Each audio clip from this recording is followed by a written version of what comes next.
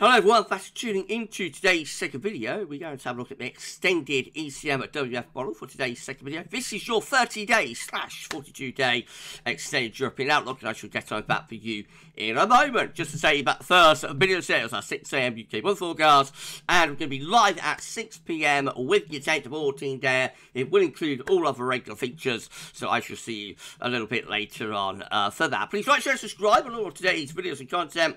To everyone for doing that. Thank you so much to ECMWF.int for supplying the charts and the data as well, by the way. So much, EC. Right, going to start off with week one, mean sea level pressure anomaly, the week that we're currently in, 28th of October to uh, 4th of November. So you've got a big ridge, a big area of high pressure dominating weather across the north and west Europe. At the same time, there's a trough of low pressure pushing into the far northeast. And this ridge extending down through uh, many parts of Europe, actually. And low pressure through the far southwestern corner of uh, Iberia there. 500 millibar height only from the Arctic North Pole view down, looking like this. Plenty of high pressure through the North Atlantic and into the north and west of Europe as well. Low pressure down towards south of Spain and Portugal, and low pressure in the far north and northeast. That'll bring some colder air into the extreme uh, northeast there, probably. Right, so the temperature anomaly for weekend generally is above average, or for this week, I should say generally above average from the west right way over to the east. So Ireland, UK, France, and much of Spain, Portugal coming out with above average temperatures. Those uh, a average temperature anomalies extending then right way across Europe to the uh, Black Sea and uh, Ukraine around here. Um, it is cold in the extreme north, so uh, Norway, Sweden, and Finland at least in northern regions, coming out with below average temperatures through there. And it's a little bit colder than average down across the far south of Spain and Portugal. But most of the Med actually looking uh, warmer than average this week. Precipitation wise, so wet in the extreme southwest and northeast, so uh, above average rainfall through uh, southern and eastern parts of uh, Spain and Portugal there. Also extending up into the far south of France, um, along that uh, Mediterranean coast perhaps.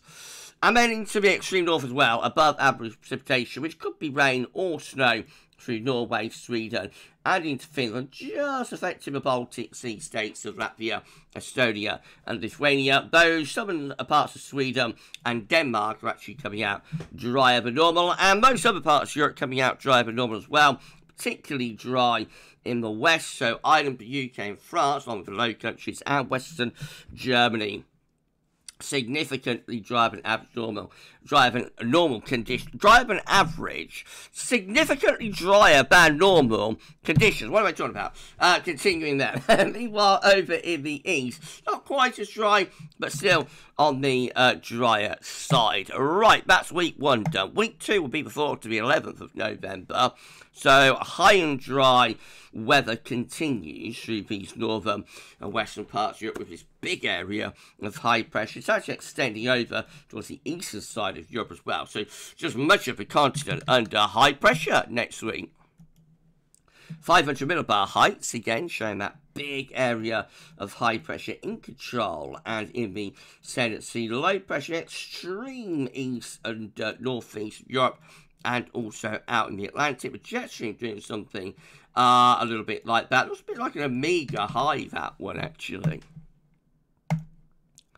Temperature anomalies look like this, a bit of an east-west split setting up, so becoming cooler or colder than average in these uh, eastern regions. That extends really from uh, western southwestern Russia down into the Black Sea, also affecting Ukraine, Romania, um, Hungary, Austria, the uh, Balkans as well, though uh, we see the Balkans cold and average, and into towards Greece and Turkey, the eastern portion of the Mediterranean, again below average temperatures there next week. But out to the west, it's a good deal warmer through there. Check this out. We've got large portions of Scandinavia coming out above average. Ireland, the UK, comes out above average. Much of southern Western France above average temperatures, and also down Spain and Portugal as well. And some places like 3 to 6 degrees above average, Ireland, for example, 3 6 degrees above average. Southern Norway doing that as well. The Pyrenees and the Alps, 3 6 degrees above north. So very, very, and Portugal, a very mild that uh, week to come again in West Europe next week, but colder in the east. And precipitation wise, well, once again, we see a large area driving average conditions uh, with that uh, um, high pressure in control. So sorry everyone. So driving average from Ireland to Portugal in far west, right way over to the west of Russia in the east. Even the Baltic Sea states of Latvia, Estonia, Lithuania coming out driving north. But we do see some wet average conditions through uh, portions of Norway, possibly through eastern parts of Spain towards Balearic Islands, and also affecting some parts of North Africa, but those really are the exceptions to rule. Most places will be very dry next week. Week three will be the 11th to the 18th of uh, November. Still, that high pressure remains in control, centred around the UK and Ireland, but the ridge looks like it's through most of uh, Europe yet again.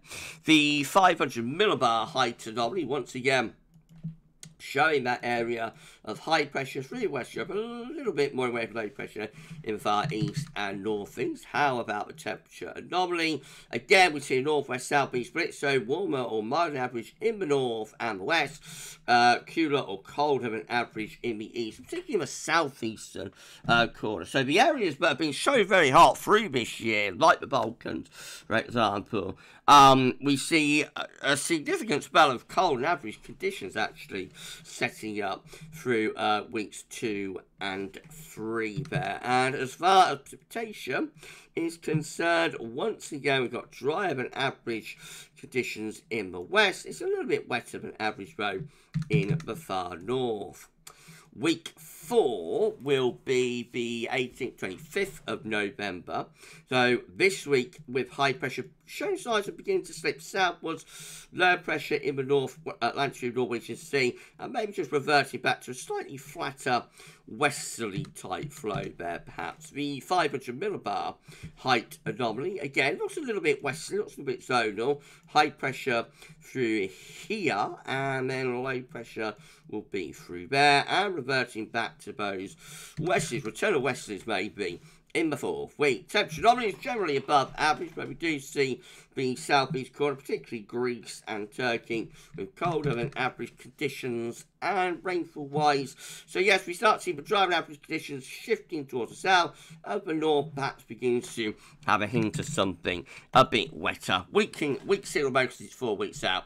Right, well, that's your 30 day look done. Let's go week through weeks five and six before we go, though. So, week five is the 25th November, 2nd of December.